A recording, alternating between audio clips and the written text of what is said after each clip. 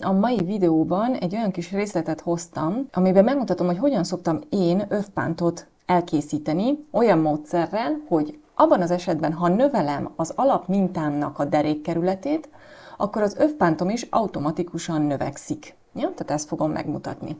Most ehhez, ahogy látjátok, megszerkesztettem az alapmintámat, van egy hátarésze, illetve van egy eleje része, ezeket most így külön-külön szerkesztettem. Most először is ugye egy új szabás minta részt kell létrehoznom, az övpántnak a részét, úgyhogy most ide rákattintok, és ide beírom, hogy ez lesz az övpánt.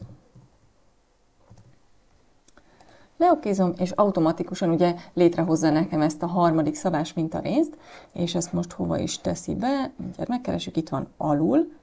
Most én ezt ide megfogom, és így föntebb viszem, hogy lehessen majd látni. Így, igen, felhúzom. Ugyanis itt a, a szoknyának a derék részével fogunk dolgozni.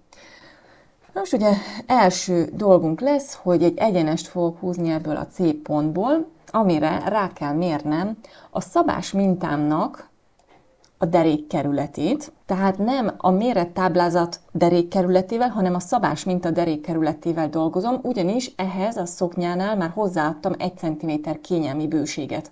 Jó, úgyhogy azért, hogy ne legyen majd nagy az övpántom, ezért a szabás mintán mérem le a, a derékkerületet. Szóval, következő lesz a feladatom, ugye amikor meghúzom ezt a kis vonalat, automatikusan földobja nekem ezt a kis ablakot, és itt a következőt kell elvégezni. Szóval most egy picit itt rázúmolok, hogy lehessen jobban látni, tehát újra húzom ezt a kis piros egyenest.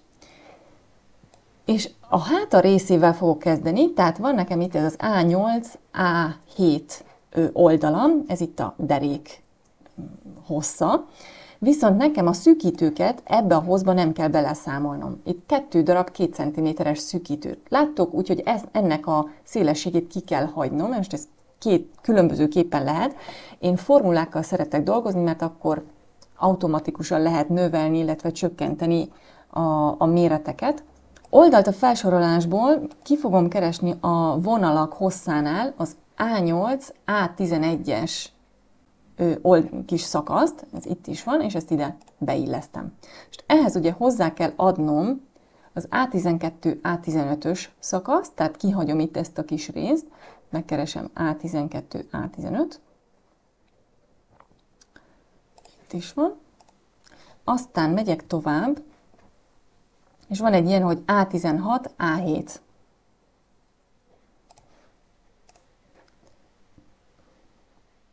Ezt is hozzáadom, és ezzel ez az oldalam megvan, majd haladok tovább, és most itt ez nem fog látszódni, mert pontosan itt ez a másik ablak kitakarja, de én ezt most leókízom, és majd egy pillanat alatt, majd egy következő pillanatban folytatom a szerkesztést. A lényeg az, hogy most ezt itt leókízom, ezt is leokézom, és most ide nekem betette ezt a kis háta részvonalat.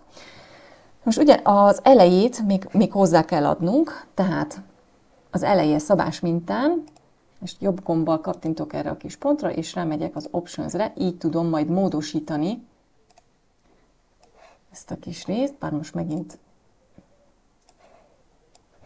tehát kiveszem a, a, az ablakokat, hogy látszódjon. Tehát folytatom a szerkesztést, és megkeresem az ívek között itt oldalt, az A8, A11-es ívemet, és ezt is hozzá fogom adni. Rákattintok, és ezzel a kis kézjellel viszem be.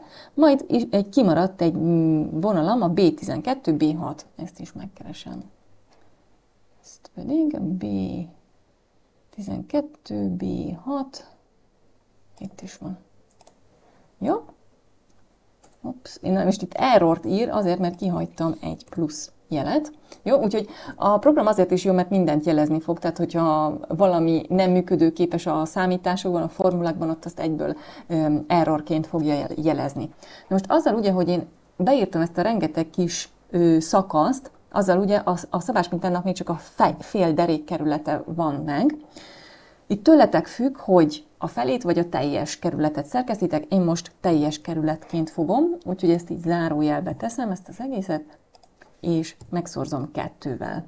Így ki fogja adni, hogy 69,5 cm a, a teljes derék kerületem, úgyhogy ha én ezt itt lemérném centivel, akkor ö, ez az adat jön neki. Ezt itt leokézom, leokézom, és beteszi nekem az övpántomnak a, a, a, a hosszát. Jó, megyek tovább, és szélességnek most én 6 cm-t fogok jelölni. A kész szélesség az 3 cm, tehát ezt majd meg fogjuk felezni. Jó, erre az oldalra is behúzom, hogy 6. Na most itt azt lehet csinálni, hogy vagy beírjátok kézzel, vagy beírjátok, hogy 6, vagy pedig kiválasztjátok a C1, C2 oldalnak a hosszát. Én most ezt választom, mert akkor, hogyha mondjuk növelni szeretném a, a szélességét, akkor elég, hogyha csak itt egyszer írom be, és nem kell duplán dolgoznom. Beírom, és akkor azzal, mindjárt ezt itt megmutatom, hogyha én most itt növelném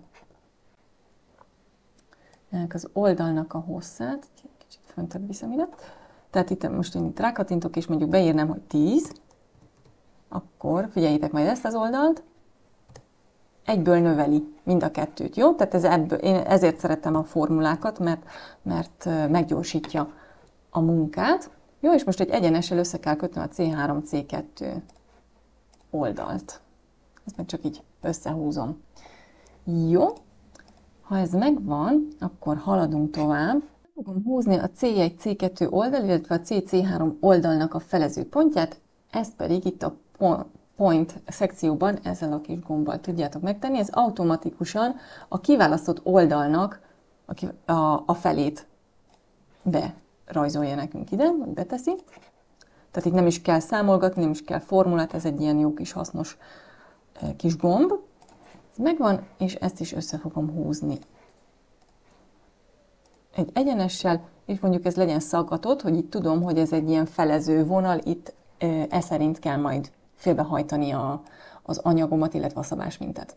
Jó, utolsóként pedig gomboló pántot is teszek a, az övpántomra, ez pedig szintén, hoppá, közben itt ezt nem tudom, hogy mondtam-e, tehát egyenes ennél a kis eszköznél, itt nyomom mindig a Shift gombot, akkor így 45 fokos szögekben ugrik maga ez a kis eszköz, és ide mondjuk egy 3 cm-es kis vonalat húzok be.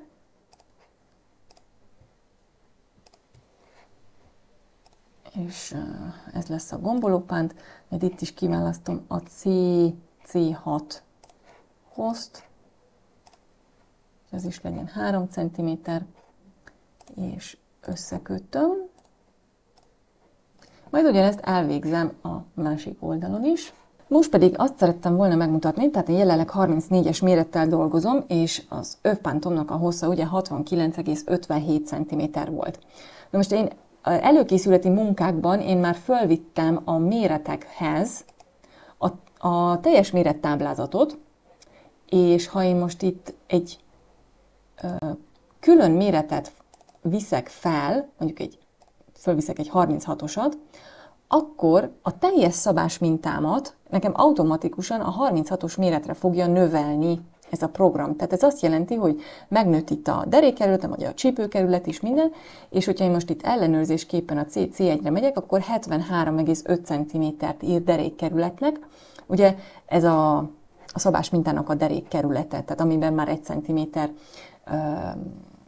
kényelmi bőség benne van. Jó, úgyhogy ezt ezzel így lehet ö, szépen szerkeszteni, vagy például ha egy nagyobb méretet szeretnék ide betenni, mondjuk egy 48-asat, akkor pedig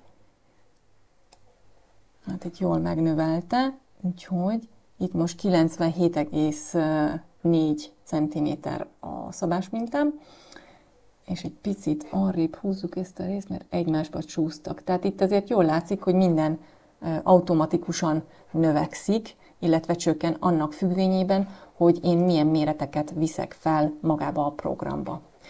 Jó, úgyhogy ezt így lehet megszerkeszteni. Remélem hasznosnak találtátok ezt a videót, és további jó szerkesztést kívánok mindenkinek!